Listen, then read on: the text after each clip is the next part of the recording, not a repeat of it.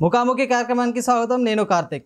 ఈరోజు మన గెస్ట్ సూర్యాపేట జిల్లా యువజన నాయకులు. అదేవిధంగా సూర్యాపేట మున్సిపాలిటీ ఇరవై ఏడవ వార్డు కౌన్సిలర్ తనయుడు. అదేవిధంగా సూర్యాపేట ప్రజల్లో నిత్యం అందుబాటులో ఉండేటువంటి వ్యక్తి శబరినాథ్ గారు ఉన్నారు. మరి మిగతా విషయాలు మనం వారిని అడిగి తెలుసుకునే ప్రయత్నం చేద్దాం. నమస్తే అండి. నమస్కారం. ముందుగా ముఖాముఖి కార్యక్రమానికి స్వాగతం. మీకు ప్రైమ్ నైన్ న్యూస్ వ్యూవర్స్ అందరికీ కూడా నా నమస్కారాలు. థ్యాంక్ యూ ముఖాముఖి కార్యక్రమం అంటే కొన్ని పాజిటివ్ క్వశ్చన్స్ ఉంటాయి నెగిటివ్ క్వశ్చన్స్ ఉంటాయి. ప్రతిదానికి మీరు సమాధానం చెప్తారని మేము ఆశిస్తున్నాము. అన్నీ కూడా ఇంటర్వ్యూ కూడా సాఫీగా జరగాలని మేము కూడా కోరుకుంటున్నాం. రైట్ అదేవిధంగా మున్సిపాలిటీలో ప్రచారంలో భాగంగా మీరు ఇచ్చినటువంటి హామీలు ఎంతవరకు నెరవేర్చారంటే ఏం చెప్తారు? మేము మున్సిపాలిటీ ఎలక్షన్స్లో నిలబడేటప్పుడు యంగ్గా మేము చాలా వరకు కూడా ప్రజలకి చాలా హామీలు ఇవ్వడం జరిగింది. ఆ హామీలు అన్నిట్లలో కూడా సుమారు ఒక అరవై శాతం వరకు నెరవేర్చడం జరిగింది. మా ఇప్పటి వరకు రెండున్నర సంవత్సరాల కాలం అయిపోయింది. ఈ రెండున్నర సంవత్సరాల కాలంలో సుమారు ఒక అరవై శాతం వరకు మేము ఏదైతే ప్రామిస్ చేశామో వాటిని అందించిన వాటన్నిటిని కూడా ప్రజలందరికీ కూడా చేరువయ్యే విధంగా చేయడం జరిగింది. రైట్. అదేవిధంగా మీరు కాంగ్రెస్ పార్టీలో గెలిచి ప్రస్తుతం టీఆర్ఎస్ పార్టీలో కొనసాగుతున్నారు. అంటే మీ రాజకీయ స్వలాభం కోసమే మీరు పార్టీ మారారు అంటే ఏం చెప్తారు? రాజకీయ పా- స్వలాభం కోసమే మీ పార్టీ మారినం అనేది అది నిజంగా కూడా ఒక కుట్రపూరితమైనటువంటి వాతావరణం అది. ఎందుకనంటే మనం ప్రజలకు ఏదైతే హామీలు ఇచ్చామో ఆ హామీలు నెరవేర్చేటటువంటి భాగంలో కొన్ని సందర్భాలలో ఇటువంటి జరగడం కూడా ఖచ్చితంగా జరుగుతుంటుంది. ప్లస్ ఇంకోటి ఏంటంటే మన గౌరవ మంత్రివర్యులు గుంటకల్ల జగదీష్ రెడ్డి గారు చేసినటువంటి అభివృద్ధి కార్యక్రమాలు సుమారు సూర్యాపేట మున్సిపాలిటీకి వంద నుంచి నూట ఇరవై కోట్లు కేవలం రెండున్నర సంవత్సరాల కాలంలో తీసుకురావడం ఆ అభివృద్ధిలో భాగస్వాములు కావాలి. మనం మునిగిపోయే దానికన్నా ఎప్పుడైనా కూడా రాజకీయాలు అనేది సుదూర ప్రయాణం. అవి రా ఏజ్ని బట్టి అనేది ఉండదు. కాబట్టి స్వతహాగా ప్లస్ మరియు వార్డు అభివృద్ధి కొరకు రెండు రకాలు కూడా ఆలోచించుకున్న తర్వాతనే గౌరవ మంత్రివర్యులు గుంటకల్ల జగదీష్ రెడ్డి గారి వారి ఆధ్వర్యంలోనే మేము ఒక టీఆర్ఎస్ పార్టీలో జాయిన్ అవ్వడం జరిగింది. ఎందుకనంటే మా స్వలాభం అనేది కాదు. వార్డు ప్రజలకు మేము ఏదైతే హామీలు ఇచ్చామో ఆ హామీలు నెరవేర్చడం కూడా నాదొక బాధ్యత. మనం ఒక రెండు సంవత్సరాలు బ్యాక్ వెళ్దాము. అదే మున్సిపాలిటీ ఎన్నికల ప్రచారంలో మంత్రి జయేశ్వర్ రెడ్డి చేసిన అభివృద్ధి ఏమీ లేదన్నారు సూర్యాపేటలో. ఇప్పుడేమో మంత్రి జయేశ్వర్ రెడ్డి అభివృద్ధిని చూసి ఆకర్షితులమై మీరు టీ మేము టీఆర్ఎస్ పార్టీలో చేరామంటున్నారు. అంటే ప్లేట్ మార్చినట్టు కదా? ఇప్పుడు మనకి గత ఐదు సంవత్సరాలు పోల్చుకుంటే గత ఐదు సంవత్సరాల క్రితం మన ముఖ్యమంత్రి గారు ఇక్కడ ఒకటి. ఎస్డిఎఫ్ నిధులతోని డెబ్బై ఐదు కోట్ల రూపాయలను సూర్యాపేటకి శాంక్షన్ చేయడం జరిగింది. ఆ అభివృద్ధి అనేది వివిధ దశలలో ఉండడం. మేము కూడా ప్రతిపక్ష పార్టీ అభ్యర్థిగా మేము పోటీ చేసేటటువంటి సందర్భంలో కొన్ని చేయాల్సినవి కూడా ఉంటాయి. కొన్ని వారు చేసినవి కూడా చెప్పకపోవడం కూడా జరుగుతుంటుంది మ్మ్. అది జగమెరిగిన సత్యం అది. కాకపోతే ఏంటంటే అభివృద్ధి అనేది అప్పుడు జరిగినటువంటి నిధులు అనేది అప్పటి వరకు అభివృద్ధి పనులు అనేవి పట్టాలు ఎక్కలేదు. కొన్ని ఎక్కినవి కూడా కొన్ని సందర్భాలలో ముందస్తుగా ఎన్నికలకు వెళ్ళిపోవడం టీఆర్ఎస్ పార్టీ. వాళ్ళు ముందస్తు ఎన్నికలకు వెళ్ళిపోవడం వల్ల అభివృద్ధి కూడా కొంచెం లాగ్ అవ్వడం వల్ల కూడా మేము. కొంచెం ఆ ప్రచారాన్ని మేము చేసుకోవడం జరిగింది. దాని తర్వాత మేము వచ్చిన తర్వాత కూడా ఈ రెండున్నర సంవత్సరాల కాలంలో సుమారు కోటిన్నర రూపాయలతోని మా సూర్యాపేటలో మా ఇరవై ఏడో వార్డుని చాలా అభివృద్ధి పనుల్లోకి తీసుకొచ్చుకోవడం జరుగుతుంది. గౌరవ వార్డు కౌన్సిలర్ గారి పర్యవేక్షణతో.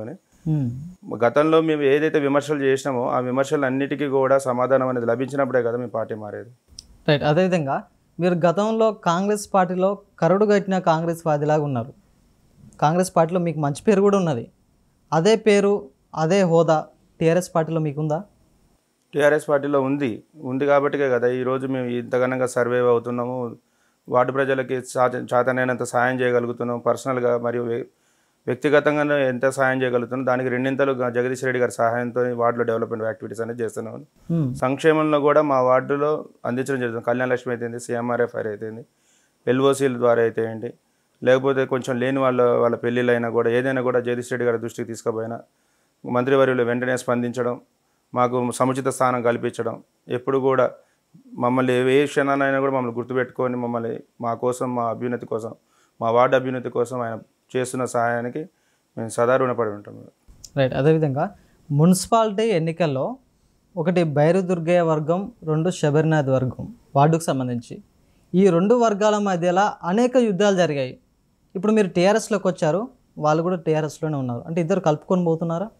ఇప్పుడు పార్టీలు అనేది సుదూర శత్రువు ఉండడు సుదూర మిత్రువు ఉండడు. శత్రువులు అంటే నేను చెప్పడం కాదు గతంలో కూడా చాలా చీఫ్ మినిస్టర్లు కూడా మారినప్పుడు మీరు చూసే ఉంటారు.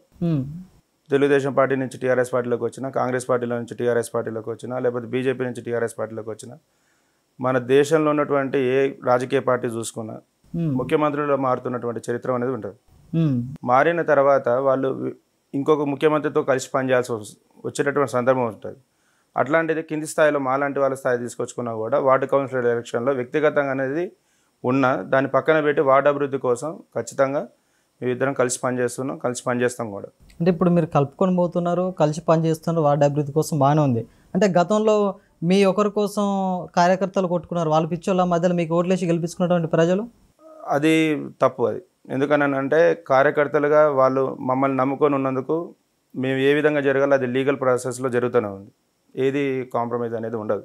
ఉమ్, ఎందుకని అంటే వ్యక్తిగతం వేరు రాజకీయం వేరు. వ్యక్తిగతంగా మనకి మా మా దగ్గర ఉండేటువంటి పిల్లవాళ్ళని చే చేసుకున్నా ఏ చేసుకున్నా అది లీగల్గా జరుగుతుంటుంది. ఆ లీగల్ ప్రాసెస్లో కోర్టు నిర్ణయిస్తుంది. దాని గురించి మేము ఇప్పుడు కామెంట్ చేయము కూడా. మేము వ్యక్తిగతంగా కన్నా మాకు రాజకీయ పార్టీ మాకు బాస్ జగదీష్ రెడ్డి గారు జగదీష్ రెడ్డి గారు ఏ విధంగా అయితే ఆర్డర్స్ ఇస్తారో దానికి వార్డులో ఉన్నటువంటి ప్రథమ పౌరాలు మా అమ్మగారు. ఆమె చెప్పేటటువంటి డైరెక్షన్స్లో ఆదేశాల మేరకు మేము పనిచేసుకోవడం జరుగుతుంటుంది. ఆ పనిచేసుకునే క్రమంలో దుర్గయ్య గారిని కానీ ఇంకా మిగతా నాయకులు కానీ అందరినీ కూడా కలుపుకొని పోయి పనిచేసే ప్రయత్నం చేస్తాం కానీ వ్యక్తిగతాన్ని దీనిలో రాజకీయంలో తీసుకొచ్చి మా బాస్ని ఇబ్బంది పెట్టే పని మేము చేయం. ఓకే. మాజీ మంత్రి దామోదర్ రెడ్డి గారికి మీకు మంచి అనుబంధం ఉండే. అవును. ప్రస్తుతం జగదీశ్వర్ రెడ్డి గారికి మీకు అటువంటి అనుబంధం ఏమైనా ఉందా? అనుబంధం ఉంది. నేను గతంలో కాంగ్రెస్ పార్టీలో ఉన్నప్పుడు దామన్న మీద అభిమానంతో పాట కూడా రాయించడం జరిగింది. బర్త్డే కూడా చాలా గ్రాండ్గా కూడా సెలబ్రేట్ చేయడం జరిగింది. ఎందుకని అంటే నాకు ఆ రా ఆ రాజకీయ భిక్ష అనేది పెట్టింది. ఫస్ట్ నన్ను ఆ రాజకీయ గురువు బైరంకన్న గౌడ్. ఆయన ఆదేశాల మేరకు ఆయన అడుగుజాడల్లో నడుస్తూ మేము కూడా దామోదర్ రెడ్డి గారికి ఆకర్షితమైన మాట వాస్తవం. ఆయన బర్త్డేని కూడా మేము గ్రాండ్గా సెలబ్రేట్ చేసినాం. సేమ్ ఇప్పుడు కూడా ఇప్పటికీ మంచి రిలేషన్ ఉన్నా మాకు జగదీష్ రెడ్డి గారితో అంతకన్నా ఎక్కువ రిలేషన్ కూడా ఏర్పడడం జరిగింది. మాకు ఎల్లవేళలు అందుబాటులో ఉంటూ మా అభ్యున్నతికి మా అభ్యున్నతి ఏంటంటే మా డెవలప్మెంట్ కాదు మా వార్డ్ అభ్యున్నతికి అహర్నిశలు మేము ఎలా కష్టపడుతున్నామో దానికి రెండింతలు తన సపోర్ట్ అందిస్తున్నాడు. దామోదర్ రెడ్డి గారి కంటే ఇప్పుడు జగదీష్ రెడ్డి గారి దగ్గరనే చాలా కంఫర్టబుల్గా ఉన్నాం. శబర్నాథ్ తెర వెనుక రాజకీయాలు చేస్తున్నారు. ప్రస్తుతం టీఆర్ఎస్ పార్టీలో కొనసాగుతూ కూడా నిత్యం దామోదర్ రెడ్డికి టచ్లో ఉంటున్నారంటే ఏం చెప్తారు? అది తప్పు. వ్యక్తిగతంగా ఎవరైనా ఇంట్లో పెద్దవాళ్ళు చనిపోయినా లేకపోతే చిన్నవాళ్ళు చనిపోయినా మాట వరుసగా మనం పోవడం పలకరింపడం అనేది మన హిందూ సంప్రదాయం. రాజకీయాలు అనేవి it's a fraction of seconds అవన్నీ. కానీ వ్యక్తిగతంగా మాత్రం మొన్న వాళ్ళ అత్తయ్య గారు చనిపోతే పరామర్శించడానికి వెళ్తాం కానీ మేము ఆ పార్టీలో మారడం కానీ మళ్ళీ పోవడం కానీ అనేది జరగదు. ఈ మధ్యన శబరినాథ్ బాగా జగదీశ్వర్ రెడ్డికి జోకుడు రాజకీయాలు చేస్తారంటే ఏం చెప్తారు? అది జగదీష్ రెడ్డి గారిని అడగాలి. శబర్ ఎప్పుడు జోకుడు రాజకీయాలు చేయడు. ఉమ్, శబర్నాథ్కి అంత జోకుడు రాజకీయాలు చేయాల్సినంత అవసరం కూడా లేదు. ఏదున్నా కూడా వార్డు అభివృద్ధి కోసం ఎంత ఎంతకైనా కూడా వెళ్ళి మంత్రి గారిని ఒప్పించి పని చేయించుకోవడం ఉంటుంది. కానీ మంత్రి గారిని ఒప్పించాల్సిన అవసరం కూడా లేదు. ఎందుకని అంటే మంత్రి గారు మాకన్నా ముందే మా వార్డులో ఏమేం కావాలి ఎటువంటి పనులు చేపట్టాలి ఏ విధంగా ముందుకెళ్ళాలి మన పార్టీని ఎలా బలోపేతం చేయాలి ఇక్కడ ఉన్న నాయకులకు దిశానిర్దేశం ఎప్పటికప్పుడు చేస్తారు కాబట్టి మాకంత ప్ర మాకంత కూడా అవసరం లేదు. ఎందుకనంటే జగదీష్ రెడ్డి గారు మాకన్నా ఒక రెండు అడుగులు ముందే ఉంటాడు కాబట్టి. ఓకే. శబర్నాథ్ గారు ప్రస్తుతం టీఆర్ఎస్ పార్టీలో కొనసాగుతున్నా కూడా మున్సిపాలిటీ కౌన్సిల్ మీటింగ్కి వచ్చేసరికి అవతల కౌన్సిలర్లు ఇప్పటికీ మిమ్మల్ని టీఆర్ఎస్ కాకుండా కాంగ్రెస్ వాదిలాగానే చూస్తారు అంటే ఏం చెప్తారు? అది తప్పు. అది వాళ్ళు చూడడంలో ఎవరి వ్యక్తిగతం వాళ్ళది. నేను ఎప్పటికీ ఇప్పుడు వ్యక్తిగతంగా బంధుత్వాలు ఉండకుండా ఉండవు వ్యక్తిగతంగా వారితో మింగిల్ అవ్వకుండా అనేది ఉండదు. కానీ అది వాళ్ళు అనుకుంటే మాత్రం మనం చేసేది ఏమి ఉండదు. ఓకే అదేవిధంగా వార్డు విషయానికి వచ్చేసరికి మీరు గెలిచినప్పటి నుంచి ఇప్పటి వరకు ఎటువంటి అభివృద్ధి చేశారు? వార్డులో ఉన్నటువంటి ప్రజలకు ఎటువంటి సంక్షేమ పథకాలు అందుతున్నాయంటే ఏం చెప్తారు? ఇప్పుడు మా వార్డులో మేము రెండు వేల ఇరవై జనవరిలో మేము గెలవడం జరిగింది. తర్వాత ఒక వన్ ఇయర్ కాలం సుమారు డిసెంబర్ పదహారు పదిహేను తారీఖు వరకు కూడా మేము కాంగ్రెస్ పార్టీలో ఉండడం జరిగింది. తర్వాత కొన్ని అభివృద్ధి కార్యక్రమాలు మేము అనుకున్న ప్రకారం జరగకపోవడం మా వార్డు వెనుకబడుతుంది అనేటువంటిది ఒక భావం. మరి ఇంకొకటి ప్రతి వార్డు కూడా మంచిగా డెవలప్మెంట్ అవుతుంది. జగదీష్ రెడ్డి గారి సారథ్యంలోకి మనం అడుగుజాడల్లోకి వెళ్ళాల్సినటువంటి సమయం ఆసనమేనని చెప్పేసి అని మేము కూడా జగదీష్ రెడ్డి గారి వెంట నడవడం జరిగింది. పార్టీలో మారినాం. పార్టీలో మారిన తర్వాత ఇరవై ఐదు లక్షల రూపాయలతోని పార్కు సుందరవందంగా పార్కు తయారు చేసుకోవడం జరిగింది వార్డులో. మళ్ళీ నలభై లక్షలు ఎస్డిఎఫ్ ఫండ్ ఒకసారి నలభై ఇరవై లక్షలు ఒకసారి పది లక్షలు జనరల్ ఫండ్స్తోని ఇట్లా సుమారుగా దాదాపు కోటి రూపాయలు కోటి రూపాయలతోని రోడ్లు వేయడం జరిగింది. అలానే మళ్ళీ మిషన్ భగీరథ నీళ్ళు తెలంగాణ రాష్ట్ర ప్రభుత్వం ఏదైతే ఆశించిందో ఇంటింటికి నల్ల అనే కార్యక్రమాన్ని కూడా మా వార్డులో చాలా ముందుకు తీసుకోవడం జరిగింది. సుమారు ఒక పద్నాలుగు వందల మీటర్లు మేము మిషన్ భగీరథ పైప్ లైన్ కొత్తగా వేయించడం జరిగింది. అలానే వాటితో పాటు ట్రీ పార్క్ క్రీడా ప్రాంగణము మళ్ళీ విద్యార్థులకు కావాల్సినటువంటి అన్ని సకల సౌకర్యాలు కల్పించడానికి ప్రయత్నం చేయడం గురుకుల పాఠశాలలో కూడా విద్యార్థులకు నైపుణ్య బోధనాల కోసం క్రీడా ప్రాంగణం ఏర్పాటు చేయడం ఇట్లా ప్రతి ఒక్కటి కూడా ఇవన్నీ కూడా డెవలప్మెంట్ యాక్టివిటీస్ అయితే సంక్షేమ పరంగా వస్తే జగదీష్ రెడ్డి గారి సహాయ సహకారాలతోని మేము కూడా ఇరవై ఒక్క కళ్యాణ లక్ష్మి చెక్కులు అంటే సుమారు పద్దెనిమిది మంది.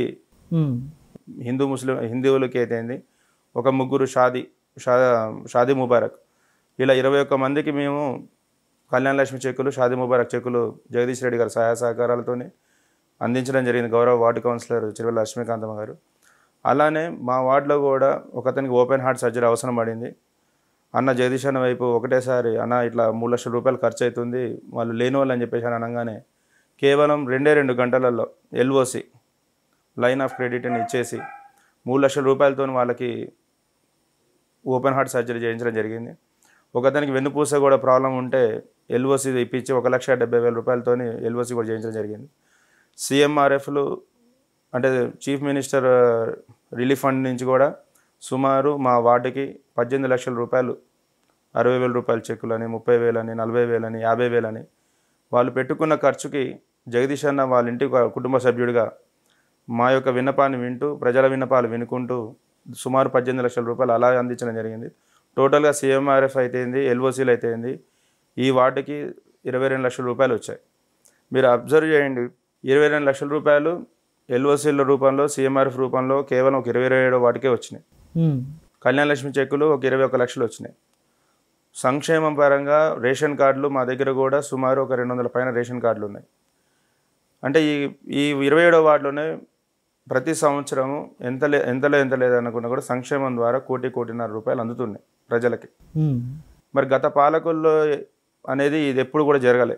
ఇంత మొత్తంలో ఎప్పుడు కూడా ప్రజల చేతికి ఇంత నాణ్యమైనటువంటి పథకాలు అనేవి ఎప్పుడు కూడా పోలే. చేయి తడిపితే తప్పించి వాళ్ళ ఇంటికి చేరని సందర్భాలు చాలా ఉన్నాయి. అవన్నీ మనం అందరం చూసినాం. కానీ టీఆర్ఎస్ ప్రభుత్వం వచ్చిన తర్వాత జగదీష్ రెడ్డి గారి నేతృత్వంలో పర్యవేక్షణతో ఎక్కడ అవినీతి లేకుండా ప్రతి సంక్షేమ పథకం ప్రతి అభివృద్ధి ఇంటి ముందల అభివృద్ధిని జరిగేసేది జరిగింది. ఎప్పుడైనా మనం ఉంటాం ఎప్పుడైనా ఎలక్షన్స్ నిలబడ్డాం ఇంటి ముందు అభివృద్ధి కంటి ముందు అభ్యర్థి అని అంటాం. దానికి నిలువెత్తు రూపం జగదీష్ రెడ్డి. రైట్ అదేవిధంగా సూర్యాపేట మున్సిపాలిటీలో మొత్తం అవినీతి జరుగుతుంది. మున్సిపాలిటీ అభివృద్ధికి ఎటువంటి నిధులు లేవు అనేసి అటు కాంగ్రెస్ బీజేపీ నాయకులు విమర్శలు చేస్తున్నారు. దీనిపై మీ స్పందన ఏంటి? ఇప్పుడు వాళ్ళు కళ్ళుండి కూడా చూడలేని కబోదులు అనుకోవాలి. ఎందుకంటే కౌన్సిల్ మీటింగ్లో ప్రతిసారి మీటింగ్ పెట్టినప్పుడు కూడా మొన్న పెట్టిన కౌన్సిల్ మీటింగ్లో కూడా ఎనిమిది కోట్ల ముప్పై తొమ్మిది లక్షల రూపాయలు శాంక్షన్ చేసి జరిగింది జరిగింది నలభై ఎనిమిది వార్డులకు కలిపి ఎనిమిది కోట్ల ముప్పై తొమ్మిది శాంక్షన్ లక్షల రూపాయలు మంజూరైనాయి. నలభై ఎనిమిది వార్డులలో ఆ చేసినటువంటి తీర్మాన తీర్మానాన్ని కూడా అగ్రి చేసింది కూడా వీలుగా అంటే ముప్పై మంది ప్రభుత్వ పక్షాన ఉన్న రిమైనింగ్ ఉన్న ఇరవై మంది కూడా సంతకాలు పెట్టారు కదా. ఆ ఎజెండాకు మద్దతు తెలిపారు కదా. ఇవన్నీ కూడా అభివృద్ధి చేస్తున్నా కూడా సద్దల చెరువు ఒక పక్కన పుల్లారెడ్డి చెరువు ఒక పక్కన మెడికల్ కాలేజీ ఇక్కడ మన మెయిన్ రోడ్డు చూస్తే మెయిన్ రోడ్డు సుమారు ముప్పై రెండు కోట్ల ముప్పై లక్షల రూపాయలతోని మెయిన్ రోడ్డు జరుగుతుంది. ఏ రాజకీయ నాయకుడైనా ఏదైనా పండగ వచ్చినప్పుడు సందర్భం వచ్చినప్పుడు రోడ్డు వెడల్పు చేస్తే బాగుంటుందని బాగుండేది అని చెప్పేసి అని ప్రతి ఒక్కరు చెప్పారు. కానీ ఎవరైనా చేయడానికి సాహసించారా? వాళ్ళందరూ ఓట్ల రాజకీయం చేసారు. జగదీష్ అన్న మాత్రమే అభివృద్ధి రాజకీయం చేస్తుంది అభివృద్ధి అనేదే కావాలి. అనేదే జగదీష్ అన్న ఎజెండా. దాని ప్రకారమే జరుగుతుంది. సుమారు వంద నుంచి నూట ఇరవై కోట్లు. మనం చెప్పేది కాదు కదా. రెండు వేల పద్దెనిమిది ఎలక్షన్స్ కంటే ముందు మన కేసీఆర్ గారు మా సూర్యాపేటకు వచ్చారు. సూర్యాపేటకు వచ్చి నియోజకవర్గంలో పెట్టినటువంటి అశేష జనవాహిని మధ్యనే సూర్యాపేట మున్సిపాలిటీకి డెబ్బై ఐదు కోట్లు మంజూరు చేశారు. ఆ డెబ్బై ఐదు కోట్ల రూపాయల పనులు జరిగినాయి కదా. ఆ జరిగిన వాటిలలో కూడా బీజేపీ బీజేపీ వార్డు కౌన్సిలర్లు ఉన్న వాటిలలో కూడా జరిగినాయి. కొన్ని కాంగ్రెస్ కౌన్సిలర్లు ఉన్నటువంటి వాటిలలో కూడా జరిగినాయి. టీఆర్ఎస్ పార్టీలో ఉన్నటువంటి వాటి జరుగుతాయి. ఎప్పుడైనా కూడా పార్టీలకి వ్యతిరేకంగా అయితే ఏ రోజు కూడా జగదీష్ అన్న చేయలే. ప్రతి వార్డు అభివృద్ధి చెందాలి. ప్రతి వార్డు కూడా డెవలప్మెంట్ అయితేనే సూర్యాపేట నియోజకవర్గం అనేది తెలంగాణ రాష్ట్రంలోనే ది బెస్ట్ అవుతుంది అనేది జగదీష్ అన్న ఆశయం. రైట్ అదేవిధంగా వచ్చే ఎన్నికల్లో సూర్యాపేట నియోజకవర్గంలో మంత్రి జగదీశ్వర్ రెడ్డిని ఎట్లాగైనా ఓడగొడతామనేసి ఇటు బీజేపీ కాంగ్రెస్ నాయకులు గట్టిగా ఉన్నారు. దీనిపై మీ స్పందన ఏంటి? అంటే గట్టిగా అంటే అర్థం కావాలి. అంటే బాగా బలంగా నిలబడ్డానా మ్మ్, బలంగా అంటే ఆర్థికంగా కానీ రాజకీయంగా కానీ ప్రజల్లో వెళ్ళడం కానీ అంటే బలంగా తిరుగుతున్నారు ఈ మధ్యన. దీన్ని ఏ విధంగా చూస్తారు? ఇప్పుడు అరవై సంవత్సరాల పరిపాలన చేసినటువంటి కాంగ్రెస్ పార్టీ కానీ ఇప్పుడు ఎనిమిది సంవత్సరాల నుంచి అంతకుముందు వాజ్పేయి గారు ఉన్నప్పుడు ప్ర- చేసినటువంటి పరిపాలన కానీ భారతదేశం మొత్తంలో చూసుకుంటే ఎప్పుడైనా మీరు చూ మీరు చూసుకున్నటువంటి ఏదైనా అయితే ఎక్కడైనా బీజేపీకి గ్రామ శాఖలో అధ్యక్షులు ఉన్నారా? సూర్యాపేట నియోజకవర్గంలో. కింది స్థాయి నాయకులు ఉన్నారా? ఫస్ట్ థింగ్ ఎప్పుడైనా కూడా ఒక అభ్యర్థి గెలవాలి నిలబడాలి అని అని అంటే ముందు ఈ కొన్ని బేసిక్ ఫార్ములాస్ ఉంటాయి. ఇవేవీ లేకుండా కేవలం ధనబలంతో గెలవగలరు అన్న అన్న వాళ్ళు మాత్రం ఇప్పుడు ప్రత్యర్థులుగా జగదీష్ మ్మ్. ఒక అతను టికెట్ల కోసం అని చెప్పేసి అని ఇద్దరు కొట్లాడుకుంటారు. ఇంకో అతను ఏమో ఇక బీజేపీకి దిక్కుమొక్కు ఆయనే కాబట్టి ఆయన కూడా ఉంటాడు ఇప్పుడు సంకినేని గారైనా లేకపోతే ఇంక దామోదర్ రెడ్డి గారైనా లేకపోతే రమేష్ రెడ్డి గారైనా కాంగ్రెస్ పార్టీ టికెట్లు వెళ్ళి బీజేపీకి వచ్చిన తర్వాత సంకినేని వాళ్ళు గట్టిగా నిలబడేది ఏముండదు. జగదీష్ అన్న సునామీలో కొట్టుకుపోతారు. అంటే మీరు శబరి గారు మీరు కాంగ్రెస్ పార్టీ పైన విమర్శలు బాగానే చేస్తున్నారు. ఇక్కడ నా అనుమానం ఏంటంటే ఒకసారి మీ గుండె మీద చేసుకొని చెప్పండి. కాంగ్రెస్ పార్టీ మీద నిజంగా విమర్శలు చేస్తున్నారా? లేకుంటే ఏదో టీఆర్ఎస్ పార్టీలో కొనసాగుతున్నాం కదా విమర్శలు చేయకుంటే బాగోదు కదనేసి విమర్శలు చేస్తున్నారా? నేను నా గుణమి చేసుకోవడం కాదు. జనరల్గా ఆలోచించినా కూడా అరవై సంవత్సరాలు ఈ భారతదేశం పరిపాలించిన దానికి కాంగ్రెస్ పార్టీ ఏమి ఇచ్చింది. ఎనిమిది సంవత్సరాలు ఈ రాష్ట్రాన్ని పరిపాలించిన టీఆర్ఎస్ పార్టీ ఏమి ఇచ్చింది అనేది ఒకసారి మన అవలోకనం చేసుకుంటే.